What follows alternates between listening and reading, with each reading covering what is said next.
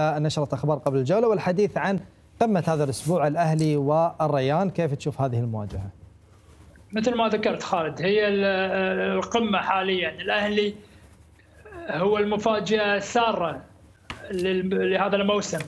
مقدم مستويات رائعة وإحنا تكلمنا الأسبوع اللي طاف أن مباراته مع مصلان راح تكون مباراة يعني تركي.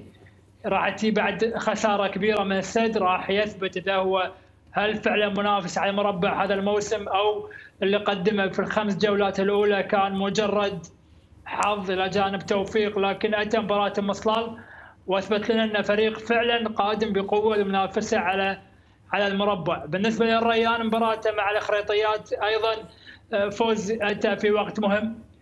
الفريقين أعتقد طموحهم المربع ممكن ممكن ممكن الريان يكون عندهم أمل نوعا ما في في البطولة لكن أعتقد صعب حاليا في ظل المستوى اللي قدمه السد بالتالي المنافسه اللي راح تكون كبيرة هذا الموسم على المربع